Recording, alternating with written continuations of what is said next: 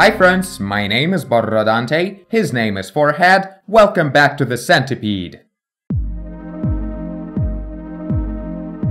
So here's the progress, and here are your comments.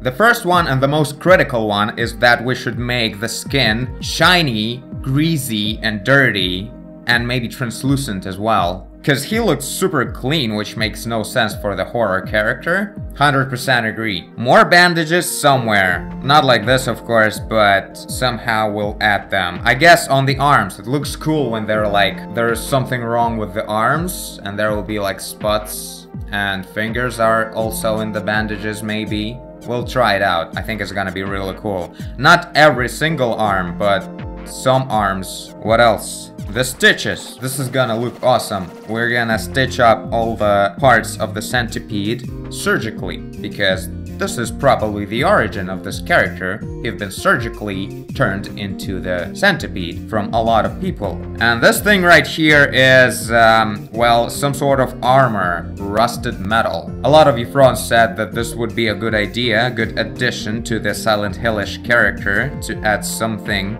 metallic. Not sure it's gonna be like this, but this was the first thing that came to my mind, you know, like when people are disabled, they have, like Forrest Gump, remember he had like a metallic structure around his legs? That kind of stuff, but rusty and very old. Also, my own thought is that this area of the body looks too stiff. It would be cool to make him go a little bit like this and then like this. Not this much, but a little bit because this area feels too straight. It's kind of unpleasant. Like if you look at the whole thing, it's kind of like wavy, wavy, and then goes like super straight here. Kind of weird. It would be cool if it would go like this a bit. So these are the goals. Let's start with the spine fix. Doing fucking animation now. Well, I guess this looks cool. Better than this, right? Or not necessarily. Hmm. Let's maybe rotate him even more. Okay, I actually like this one more now. The new one. Let's actually show that this guy's ribcage is very widely open, sort of, because he is stretching much.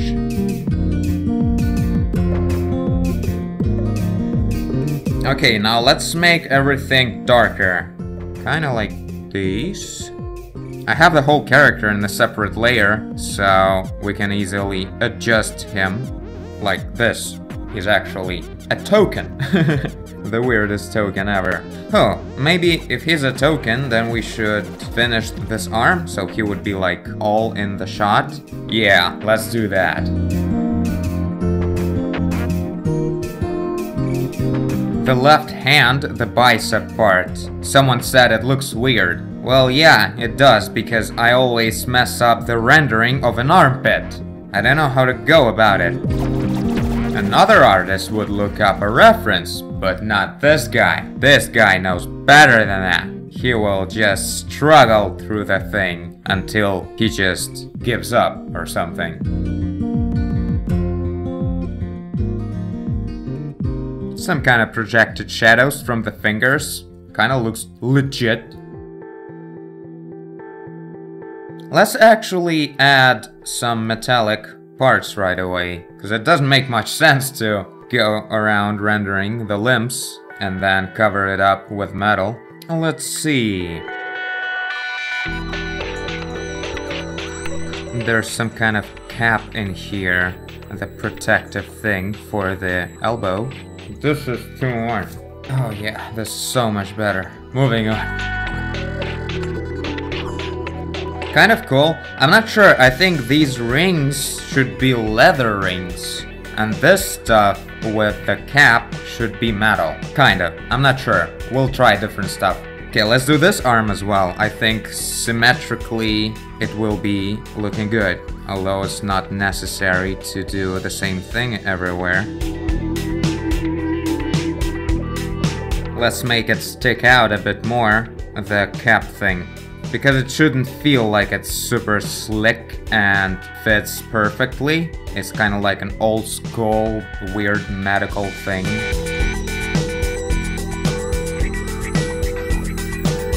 Well, this is looking pretty awesome. I'm thinking let's make all the rings metallic except for these two. These should be leather and they should be connected together like this with leather as well.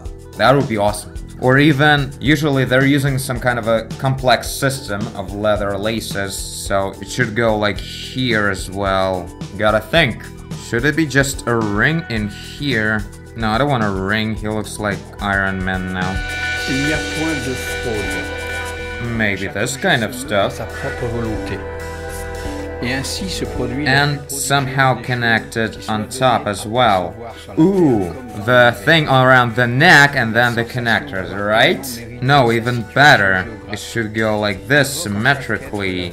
So now this thing kinda looks like the color of a dog or something. And then in the middle it will have the connections like this. And another one is there. Maybe too much though. well, this one should take place because this lace would slip down if not held by anything. Sounds like I have a lot of practice in this kind of outfit.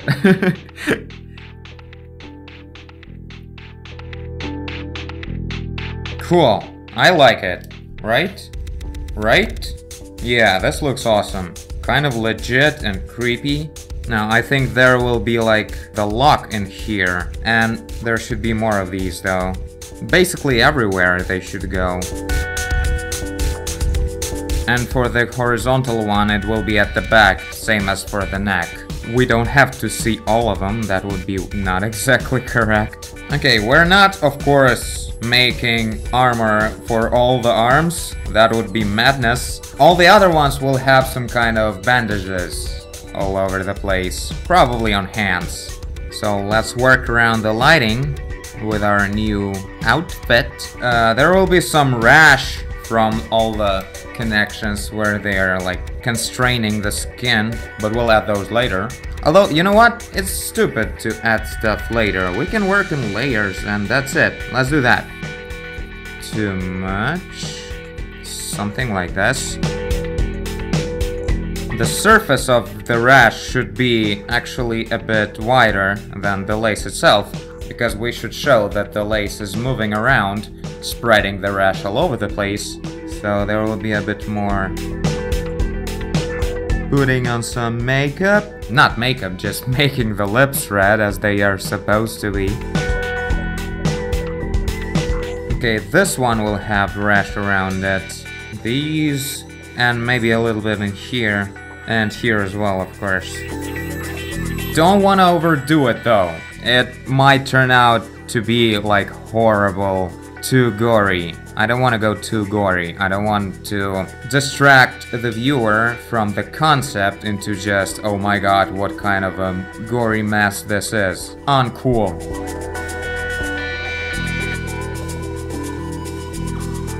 Nips? Never neglect the nips. Okay, so far so good. Now, what else? Long nails. Let's try that, although we're not on that level of detail yet, with hands at all.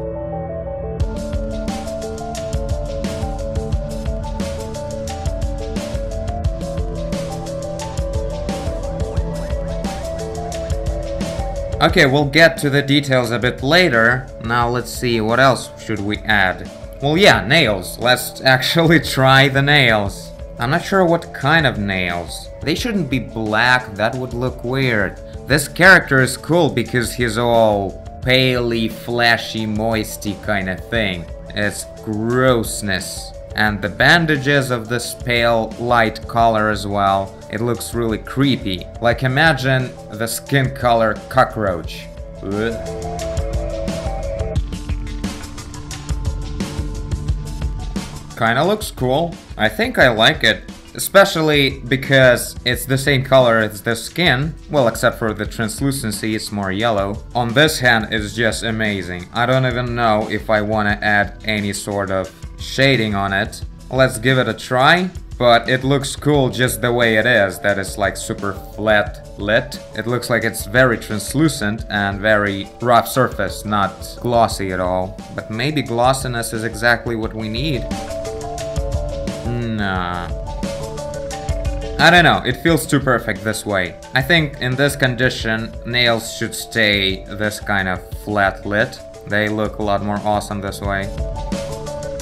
Cool, we'll add nails on these later. Let's try the stitches idea now. I think that's gonna work out pretty awesome, but we should follow the aesthetics, not to ruin everything, with gory details like this. Forgot that I had some reds on the hands as well, so that kind of changed the picture.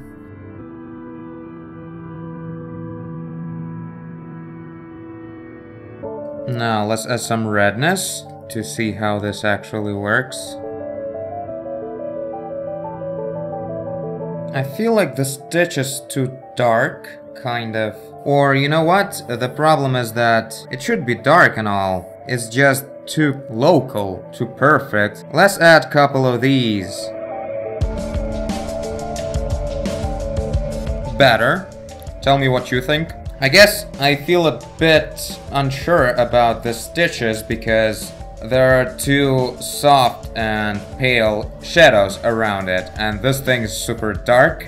That's just because I haven't actually worked on this body yet. Let's work on this body then.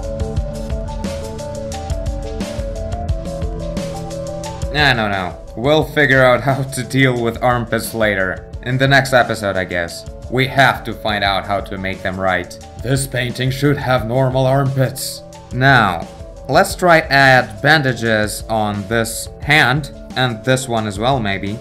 And then call it done for today. Let's just create a silhouette, kind of like we did with this armor thing. Kind of looks awesome, right? Let's try this one as well. There are some kind of rules to put the bandage on the hand. There's like, it starts here and goes like this, and I don't remember. The point is that we should add this kind of line here. It goes inside of the palm, in between the index finger and the thumb. It just looks more medical. It doesn't really matter because we don't know who was performing the operation, but he probably was calling himself a doctor. Oh boy, I'm gonna detail the shit out of these bandages next time. Bandages plus hands? Oh my god. Anyway, here's the basic lighting. And this would be it. We'll be working on the further dudes. I guess in the next episode we'll start with putting details on the background area. So this is it for today. Looking awesome, I think. Really cool stuff with bandages and the armor turned out awesome. Nails, I think they're here to stay.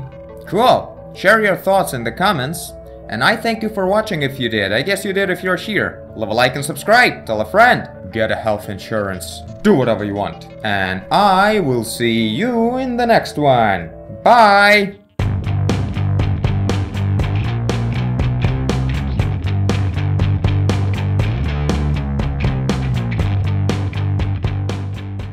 Why do I love hands so much? I should start loving feet. I suck at painting feet.